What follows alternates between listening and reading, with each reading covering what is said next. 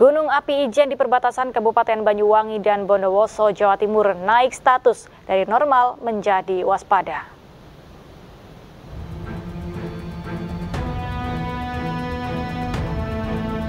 Naiknya status tersebut akibat aktivitas vulkanik dan gempa tremor yang terjadi secara terus-menerus.